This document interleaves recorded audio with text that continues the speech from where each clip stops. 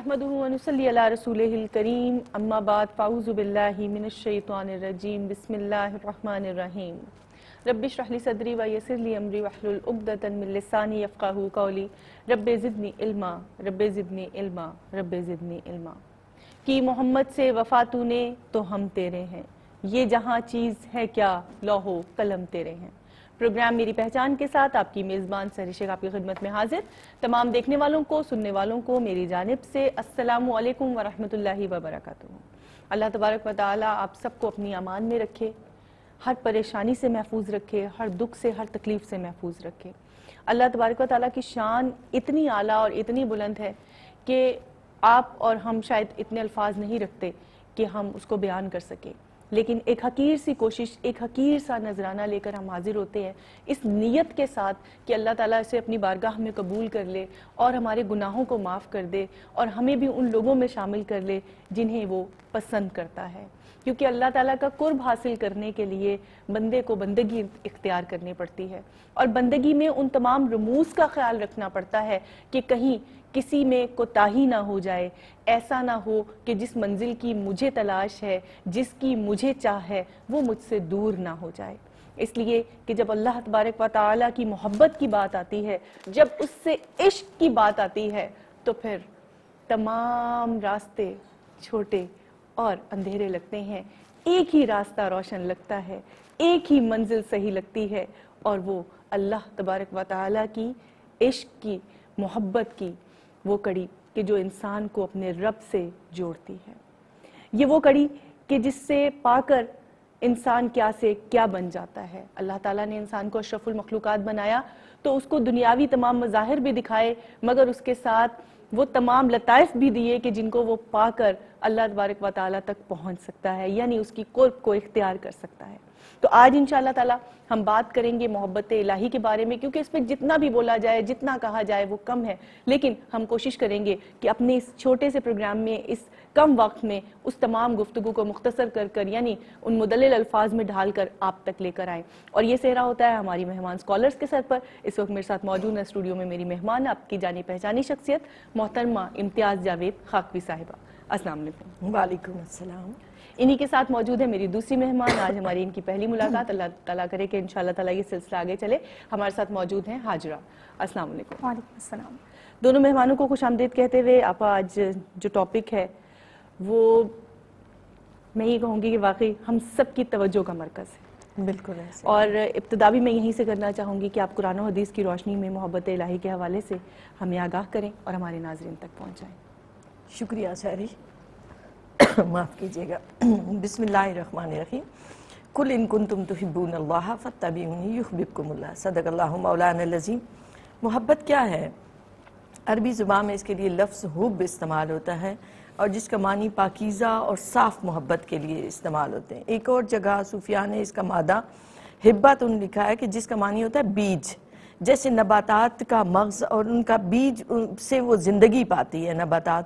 بعین ہی محبت وہ بیج ہے کہ جس سے زندگی کو ایک روح مل جاتی ہے اور ایک باطن کو ایک نئی حیات عطا ہو جاتی ہے، اگر یہ محبت صحیح روح پر ہو تو۔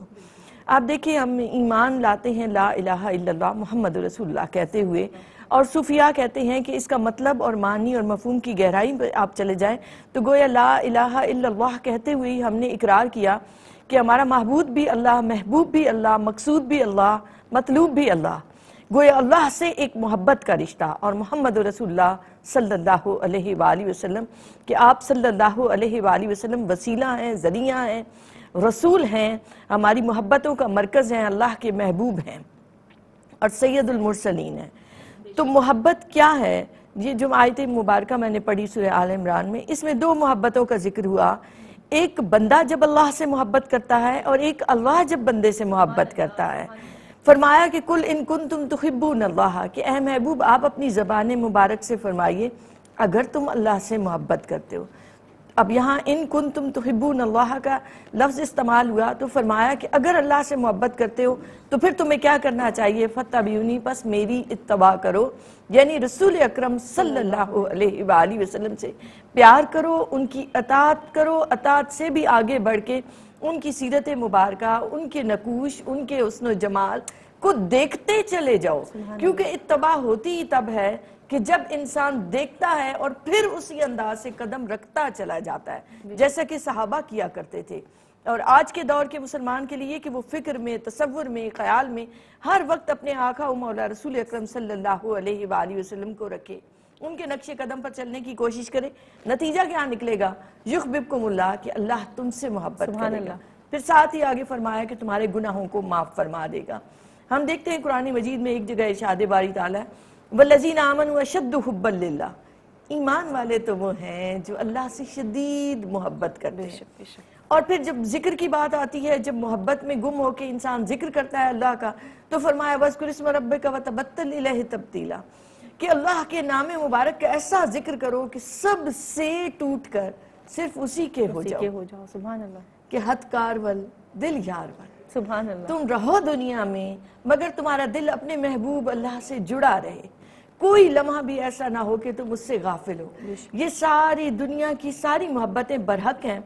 اور اس وقت یہ محبتیں عبادت بن جاتی ہیں جب اللہ کی محبت کے تابع ہو جاتی ہیں۔ جب اللہ۔ کی محبت کی شمع کی کرنیں بن جائیں تو پھر ماں باپ سے محبت اولاد سے محبت اہل و عیال سے محبت دوست احباب سے محبت ایون محبت آفاقی ہو جاتی ہے۔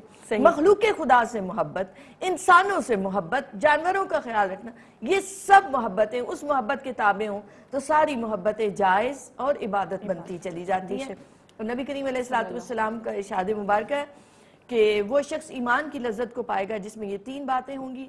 پہلی بات کہ اللہ اور اس کے رسول سے محبت کر رکھتا ہو دوسرا ہر شخص سے اس لیے محبت کرتا ہو اللہ کی محبت کی وجہ سے۔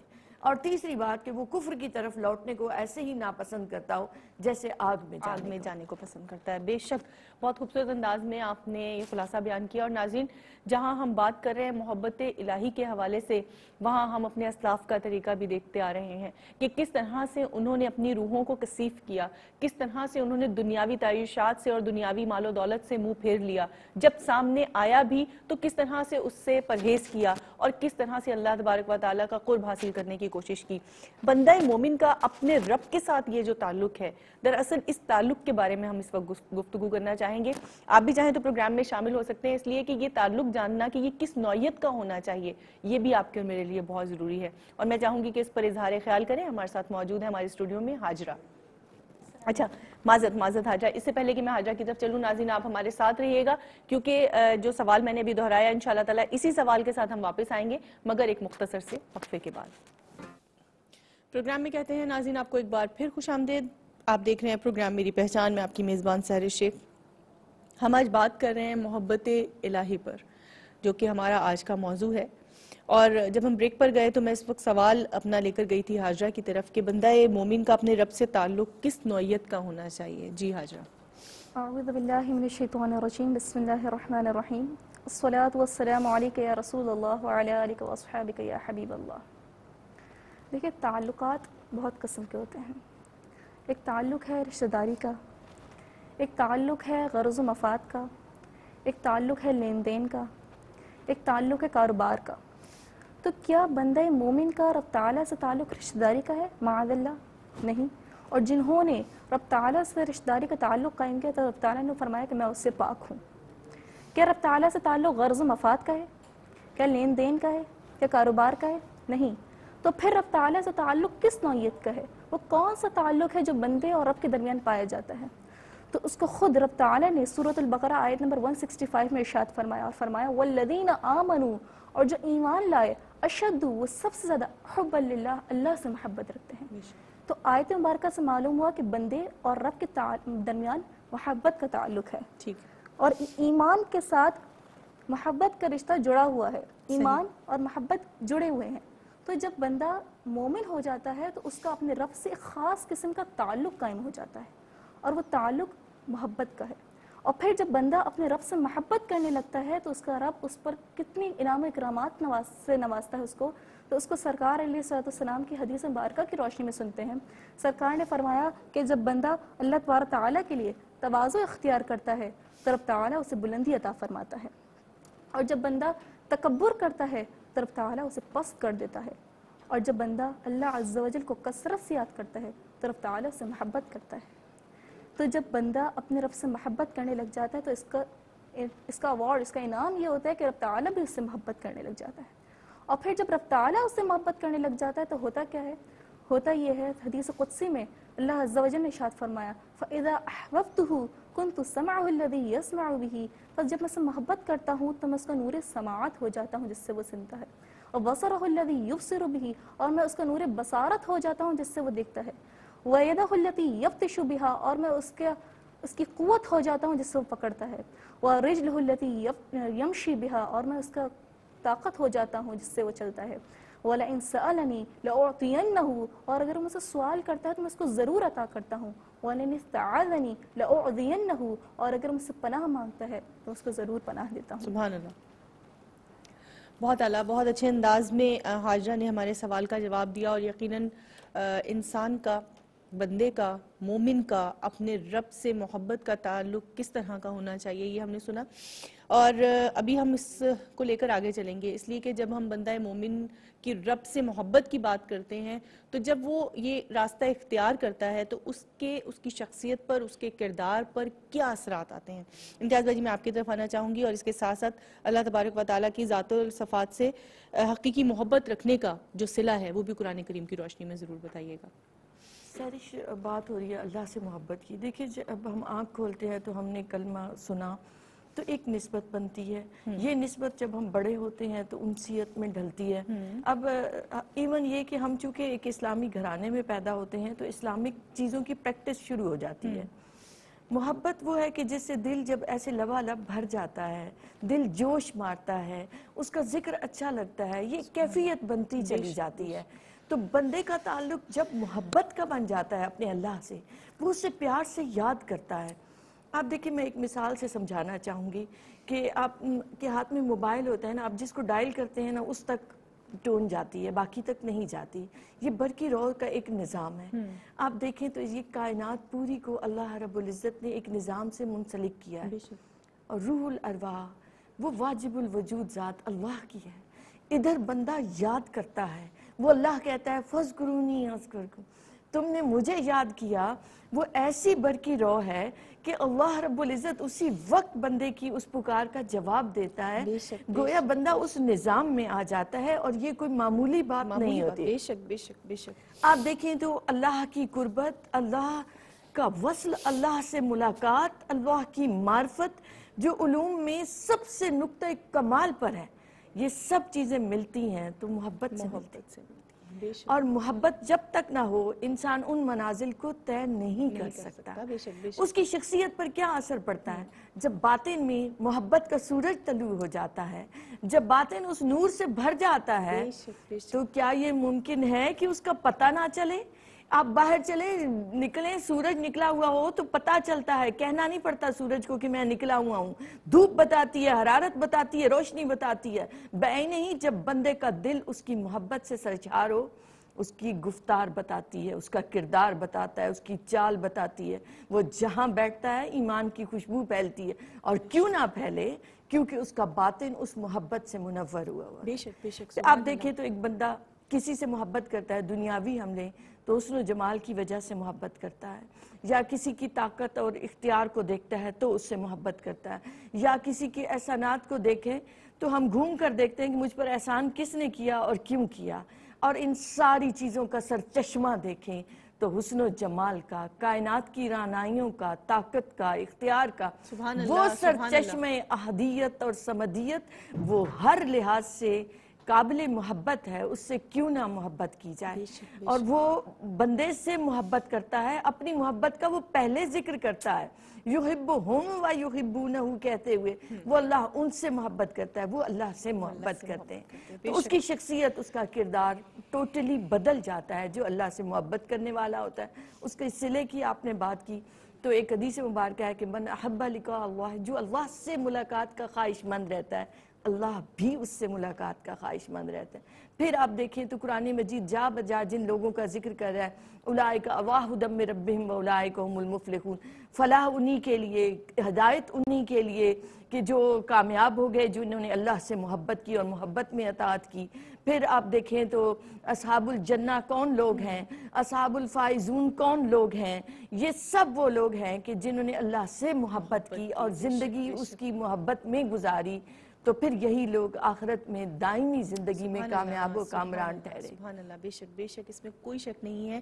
اور جس طرح سے ان کے نام اور ان کی شخصیات کا تذکرہ ہمیں ملتا ہے جب ہم تاریخ کے اوراق پلٹتے ہیں تو دل اس وقت محبت سے سرشار ہو جاتا ہے آنکھیں آپ دیدہ ہو جاتی ہیں۔ دل چاہتا ہے کہ اللہ تعالیٰ ہمیں بھی ان لوگوں کی گنتی میں شامل فرما کہ جن سے تو محبت کرتا ہے۔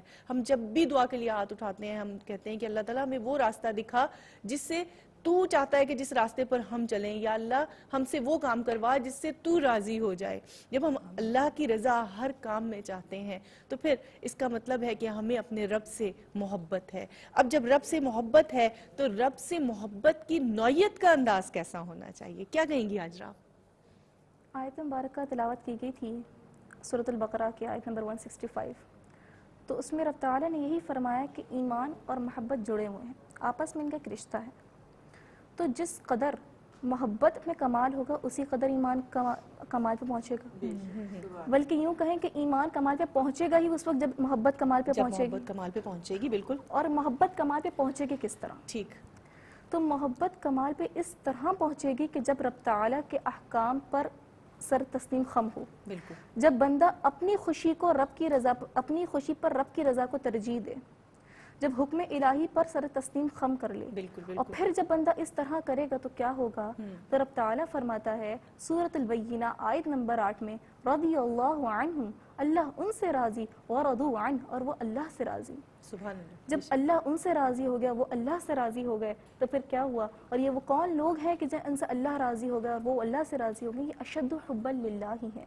یہ آیت اس پچھلی آیت کی تفسیر نہیں گویا کہ کہ والذین آمنوا اشد حب للہ اور پھر آگے فرمایا رضی اللہ عنہم ورضوا عنہ دونوں الگ الگ مقامات پہ فرمائے گئے۔ اور پھر جب بندے رب تعالیٰ سے راضی ہو جاتا ہے تو اس کا وہ اس مقام تک پہنچ جاتا ہے جس کو سرکار علیہ والسلام نے فرمایا۔ اور فرمایا کہ اللہ تبارک تعالیٰ مومنوں پر تجلی فرما کر ارشاد فرمائے گا کہ سوال کرو۔ عرض کریں گے تیری رضا کے طلبگار ہیں۔ تو اب دیدار کے بعد رضا کا سوال کرنا یہ بہت بڑی فضیلت ہے۔ اور رضا ایک ایسا دروازہ ہے کہ جو اس کی طرف راہ پا لیتا ہے، وہ اعلیٰ درجے پر فائز ہوتا ہے۔ ناظرین، آج ہم بات کر رہے ہیں محبت الہی کے حوالے سے اور محبت اور عشق کی یہ منزل کس طرح طے ہو کہ اللہ کا قرب حاصل ہو سکے۔ ہم، اللہ تبارک و تعالیٰ سے ہمیشہ اپنے گناہوں کی معافی طلب کرتے ہیں، توبہ طلب کرتے ہیں کہ اللہ ہم گناہ گار ہیں سیاہ کار ہیں، اس لیے کہ جو دنیا تو نے ہمیں عطا کی، اس میں ہماری تعیشات کا بہت سارا سامان موجود ہے۔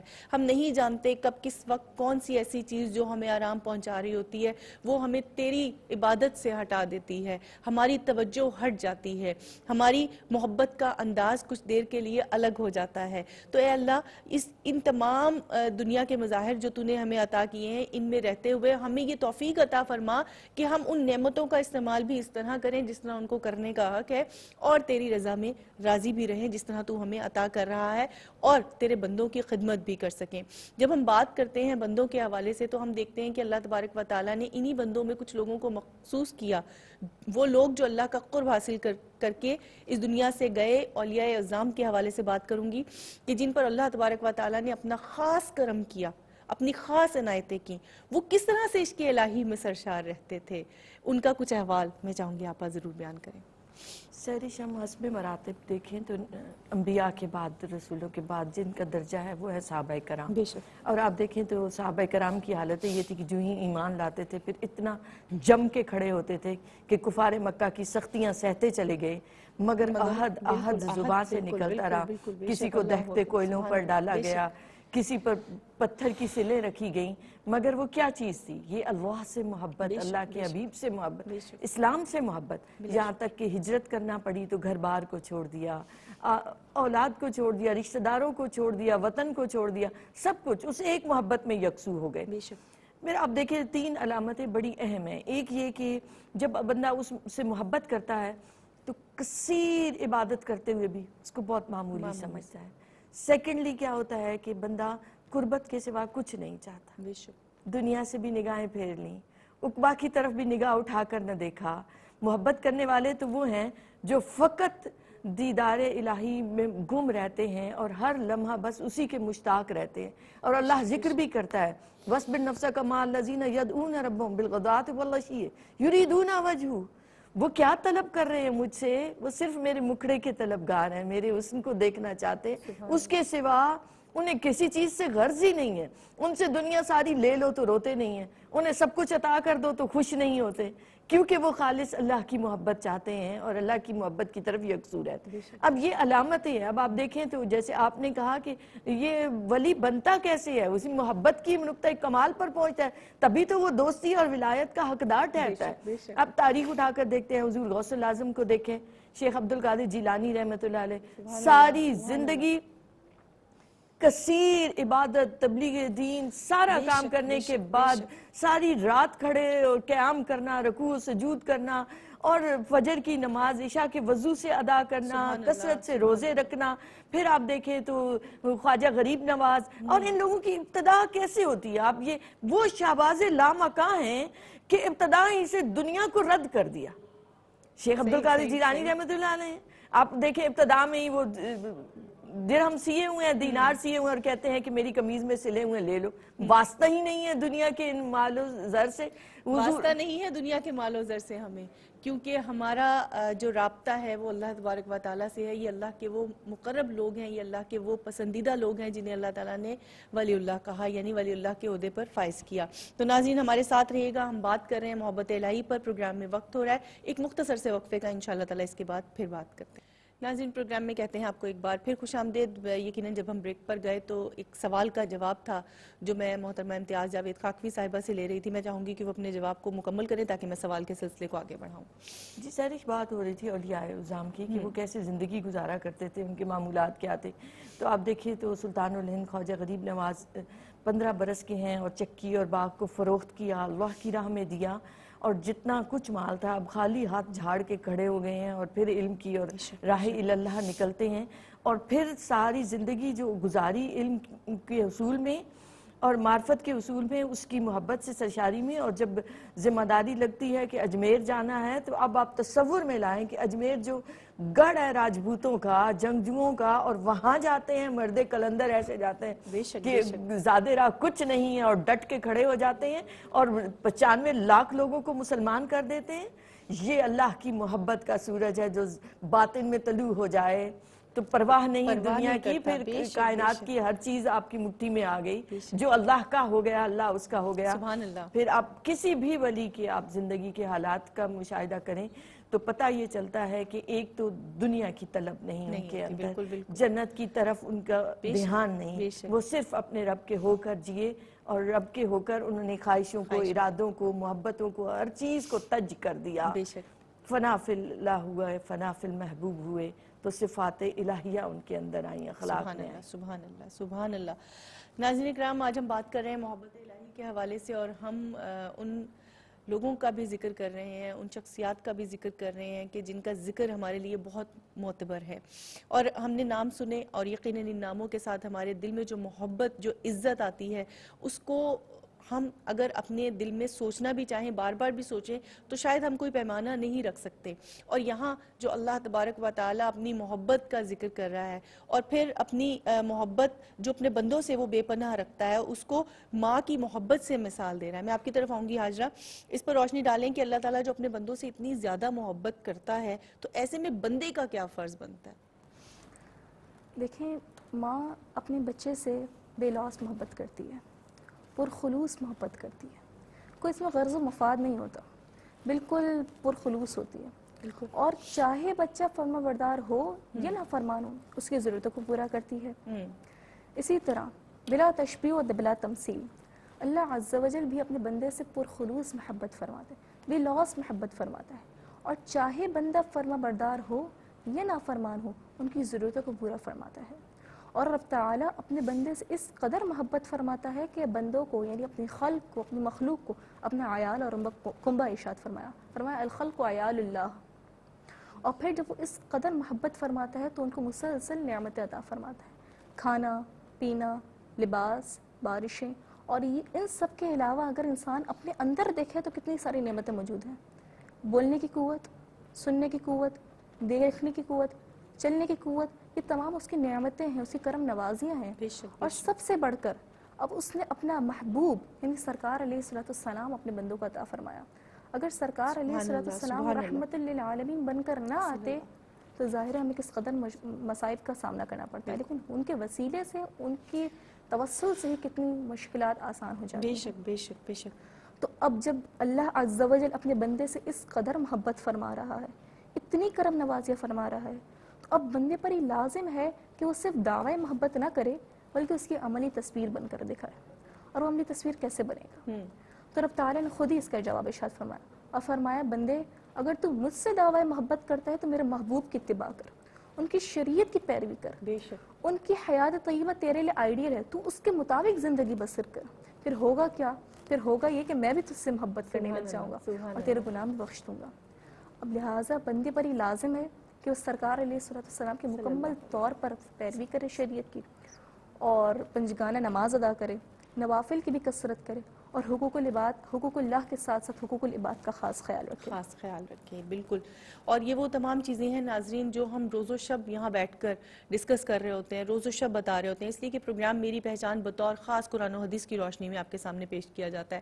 اور ہماری مہمان سکولرز اپنی محنت سے دن رات کی کاوشوں سے جو علم انہوں نے حاصل کیا وہ آپ تک لے کر آتی ہیں۔ ہماری کوشش ہوتی ہے کہ ہم وہ تمام چیزیں کہ جو کتابوں میں بند ہیں لیکن آپ تک نہیں پہنچ سکیں، ہم اپنی عالمات کے ذریعے، اس پروگرام کے ذریعے آپ تک پہنچا سکیں، تاکہ گھر گھر روشنی ہو سکے اور ہر گھر میں ماں، بہن، بیٹی اس بات کو سمجھ سکے کہ ہمیں اپنی اس زندگی کو بے مصرف نہیں گزارنا، بلکہ ہم اس دنیا میں اگر آئے ہیں تو کسی نہ کسی وجہ سے اللہ تبارک و تعالیٰ نے ہمیں تخلیق کیا ہے، وہ وجہ کیا ہے؟ اس وجہ کو جاننا اور پھر اس پر عمل کرنا۔ اس لیے کہ یہ بہت لازم ہے۔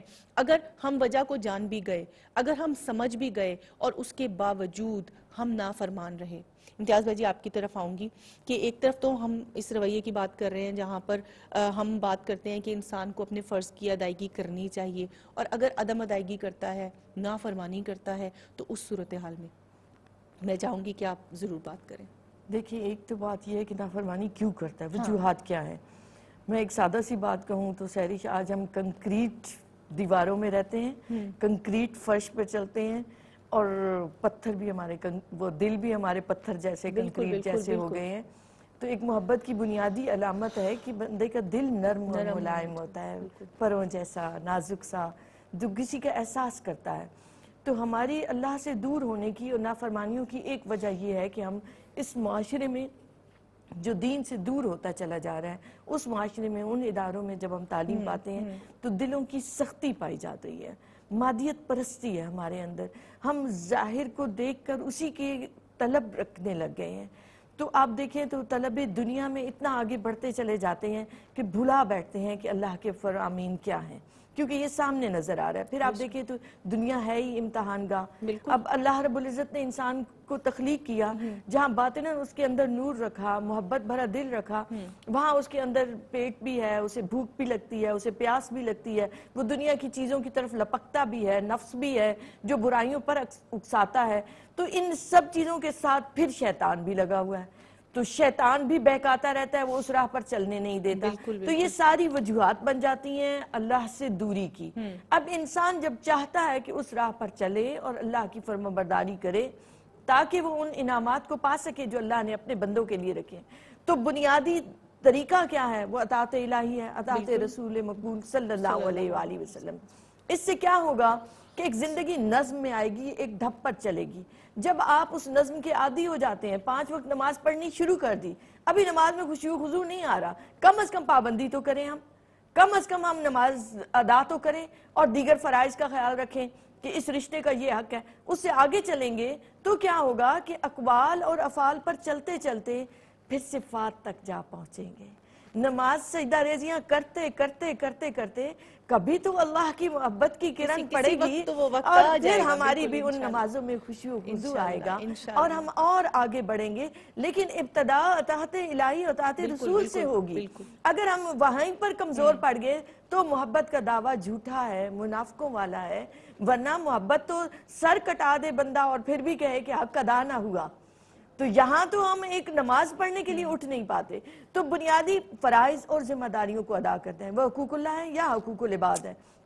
وہ ماں باپ کی فرما برداری ہے وہ اساتذہ کا خیال رکھنا ہے پھر آپ دیکھیں تو ایک بڑی عجیب سی بات ہے کہ ٹیچر ہوگا نا کلاس میں تو اسے اپنے تمام سٹوڈنٹس اچھے لگیں گے۔ تمام ٹیچرز جو اچھے ٹیچرز ہوتے ہیں انہیں ہر اسٹوڈنٹ کا خیال رہتا ہے کہ اسے آگے بڑھانا ہے۔ ماں باپ ہیں انہیں اپنے تمام بچوں کا خیال رہتا ہے۔ تو اللہ رب العزت اپنے ہر بندے سے ایک انفرادی تعلق رکھتا ہے۔ یہ اس کی جتنی بھی مخلوق سے ہی وہ ہر بندے کے بہت قریب ہے۔ اور کہتا ہے نحن اقربو الیہ من حبل الورید۔ ہم تمہاری شہرک سے کہیں زیادہ قریب ہیں۔ پردہ کس چیز کا ہے؟ اللہ اور بندے کے درمیان۔ ہماری غفلتوں کا پردہ ہے، ہماری نافرمانیوں کا پردہ ہے۔ تو جس دن ہم نے نافرمانی چھوڑ دی، ہم نے غفلتوں کو چھوڑ دیا، ہم حقیقی طور پر بیدار ہو گئے۔ حقیقی طور پر اللہ اور اللہ کے رسول سے محبت کرنے لگ گئے۔ ہم نے ہر چیز کو پیچھے چھوڑ دیا، اس محبت کو اپنی پرائرٹی پہ رکھا۔ ہر لمحہ، ہر جگہ تو یقیناً زندگی بدل جاتی ہے عمل بدل جاتا ہے پھر ہمارا بھی شمار فرما بردار بندوں میں ہونے لگ جائے گا۔ نافرمانی ہم سے جھوٹ جائے گی۔ خواہشوں کو ارادوں کو اور اپنی محبت کو اللہ رب العزت کے تابع کر دیں۔ بہت, بڑا چینج آ جائے گا۔ بہت خوبصورت گفتگو ناظرین وقت بہت کم بچائے میں آپ کی طرف آؤں گی حاجرہ کیا پیغام دینا چاہیں گی آج آپ؟ بس پیغام آخر میں یہی ہے کہ دعویٰ اور دلیل اس پہ ذرا سے توجہ ہونی چاہیے۔ ہمارے جو اسلاف تھے ان کے دور میں ان کا دور ایسا تھا کہ ہر ایک دلیل تھا محبت میں۔ اور آج دعوے تو موجود ہیں لیکن دلائل مفقود ہیں۔ بس یہ تعداد جس دن اٹھ جائے گا نا کہ دلائل موجود ہوں اور دعوے موجود ہوں اور دلائل نہ ہوں تو جس دن یہ تعداد اڑ گیا اس دن معاشرہ سور جائے گا۔ اس دن معاشرہ اپنی اصلی حالت پہ لوٹ آئے گا۔ اور اس کی اس کا طریقہ یہ ہے کہ اپنے بچوں کی تربیت سے صحیح۔ آغاز کیا جائے۔ آغاز کیا جائے۔ بہت شکریہ آپ دونوں مہمانوں کی آمد کا۔ ناظرین، آج ہم بات کر رہے ہیں محبت الہی کے حوالے سے۔ تو میں صرف اتنا کہنا چاہوں گی کہ روزمرہ زندگی میں اگر ہم اپنی عمر کی طرف نظر ڈالتے ہیں تو وہ بہت چھوٹی سی ہے۔ لیکن جب ہم اپنی اس عمر میں اپنی ذمہ داریوں کی طرف نظر ڈالتے ہیں تو وہ بے تحاشا دکھائی دیتی ہیں۔ لیکن ان تمام ذمہ داریوں میں سب سے بڑی ذمہ داری پر اگر نظر ڈالتے ہیں تو وہ دن میں پانچ بار اللہ تبارک تعالیٰ کی بارگاہ میں حاضری کی ہے۔ یعنی وہ پانچ فرض نمازیں کہ جو ہم پر فرض ہیں۔ اگر ہم پانچ بار اللہ کی بارگاہ میں حاضر ہوتے ہیں تو آپ یقین جانیے کہ اللہ کی طرف سے نظام اتنا خوبصورت ہے کہ جو جب اس کی محبت میں بندہ بندگی کے لیے کھڑا ہوتا ہے، تو وہ اس کے لیے تمام راستے آسان کر دیتا ہے۔ اور وہ تمام مشکلات جو اس کو پہاڑ جیسی لگ رہی ہوتی ہیں، وہ ریزہ ہو کر اس کے سامنے آ جاتی ہیں۔ تو کوشش کیجیے کہ اپنے بچوں کو نماز پنجگانہ کی عادت ڈالیے، کیونکہ یہی بندگی بندے کو اللہ کے قریب لے کر جاتی ہے۔ یہ وہ واحد راستہ ہے کہ جب اپنے رب کے آگے بندہ سرخم کرتا ہے، اپنا سر نگو کرتا ہے یعنی سجدے کی حالت میں چلا جاتا ہے۔ اور اپنے آپ کو ہر حال میں اپنے رب کے حوالے کر دیتا ہے، تو پھر اللہ تعالیٰ اپنے بندے پر مہربانیاں کرتا ہے۔